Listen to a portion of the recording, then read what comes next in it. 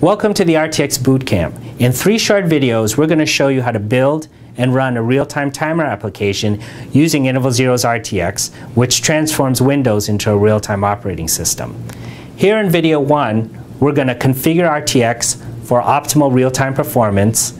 In video two, we're going to build and debug a simple RTX example. And in video three, we're going to build the real-time timer application. But before we get started, we're going to demonstrate the power of RTX and Windows. Now I want you to listen to two tones. Here's tone one.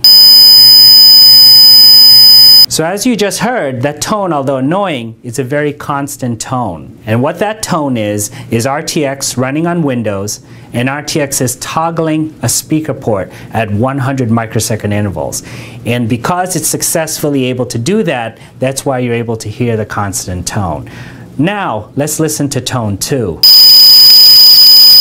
So as you just heard there, that's a pretty jagged sounding tone.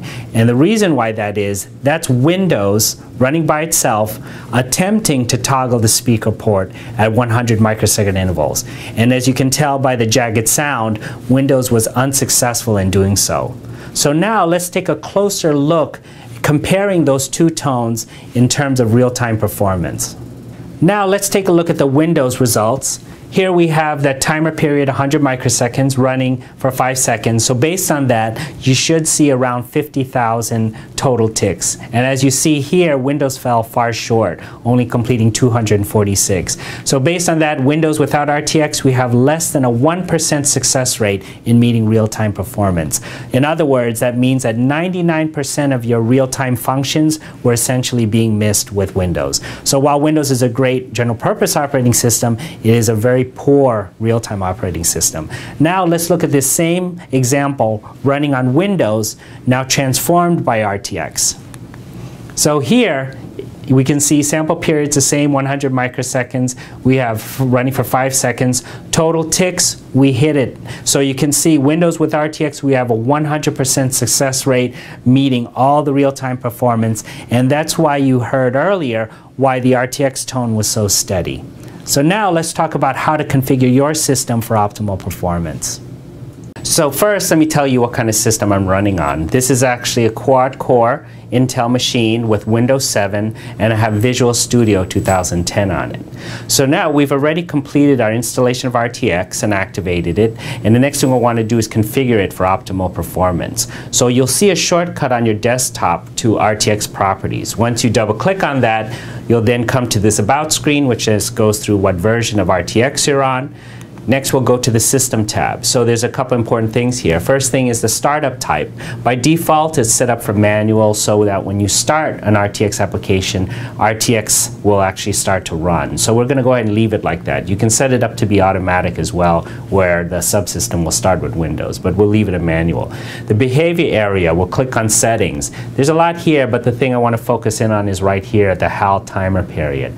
This HAL timer period is your hard real-time timer inside of RTX that is separate from Windows. So you can set this up to be as fine a granularity down to one microsecond ticks in your system, but we're going to go ahead and leave it at 100 microsecond ticks, okay? So we'll go ahead and exit there. And the last thing here is processes. So by default, what it's saying here is you can have up to 10 application processes in your system. You can have more or less. You can configure and control the number right here. Okay, so let's move to the debug tab.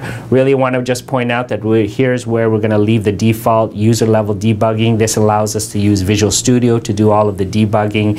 And FYI, this version of RTX 2012 supports attaching to a live process. So that is a new feature that is now supported inside of Visual Studio. And so let's go ahead and move to the memory tab. Here, uh, we'll look at some of the defaults. A local memory pool, what that is, that's the real-time memory pool that's allocated for RTX when RTX starts up. So it's requested from Windows. By default, it's 64K here, which is plenty for the application we'll be doing. Based on your system needs, you can make this larger or smaller if you'd like. Over here, allocation, what this is saying here is in your application, when you make requests from memory, by default it says to request from Windows. But really, any requests from Windows are non-deterministic, so I do recommend that you check and move to request from local memory pool. So it'll make a call to request memory from this pool, which is deterministic. So we'll go ahead and make that change and click apply. And then this final a box here just says what's the maximum amount of memory you can request, and this just says 64 megabytes. So we'll go ahead and leave the default there, but you can change it. Okay, and we'll now move to the starvation tab. This is really not applicable in our example because we're on dedicated systems. In other words, they're multi-core systems where Windows has a fixed number of cores and RTX has its number of cores. This is really for a uniprocessor system. So we'll go ahead and move past this. Exceptions, so really the highlight here is just to point out that RTX supports what's called structured exception handling. So it's a really nice way to handle any types of exceptions in the system. And based on the type of exception, you can select what you want done, either the traditional handling of the exception, or you can stop and dump memory, or you can break into it with the debugger. Okay, so some nice ways of catching ex exceptions in your system. Now, uh, one thing I should point in the hardware tab here, we're here now. The top area here about devices, this area is about converting for example, a third-party board from Windows control over into RTX control. So RTX, for example, can control an Ethernet card and have real-time control over that card. We're not going to cover that in this video, but you should see this in a future, more advanced video talking about how to convert over hardware devices.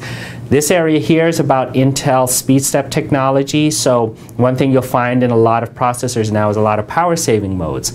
These are great in, in many applications, but for real-time applications, power savings is not beneficial because they tend to slow down the clocks. So right here we have these two check boxes checked because by default we're going to disable those power saving features so that we can keep a very consistent and a high speed deterministic clock. So I recommend you continue to leave those checked.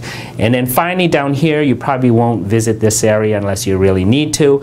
This is for looking for possible latency causing devices. So for example, if you started to build your system and saw some latencies in your system, this is where you'd click the settings tab and look at possible suspects that could be causing latencies within your real-time system. And so for example, my system here showing me the video card and the audio card, you know, they could be fine, but it's just areas where you could look at, disable it, and see if it has an effect on your real-time performance, okay?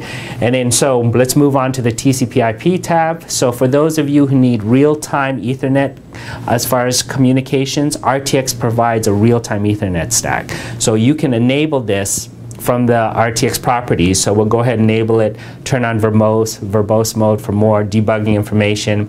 Ideal processor means you can select which core you want that TCP IP stack to run on on the RTX subsystem, and then here's a configuration file. So again, we'll check those, click apply, and then the final tab is the control tab. So this gives you status and some basic control over the subsystem. So here under boot configuration, this just goes over what's inside of your system. We have four processors, one processor is dedicated for Windows, three for RTX, and we're licensed for up to 31 cores. Down here is where you can manually start and start, start and stop the subsystem. So you can see it's stopped right now. If we start it, you'll see these all change to running.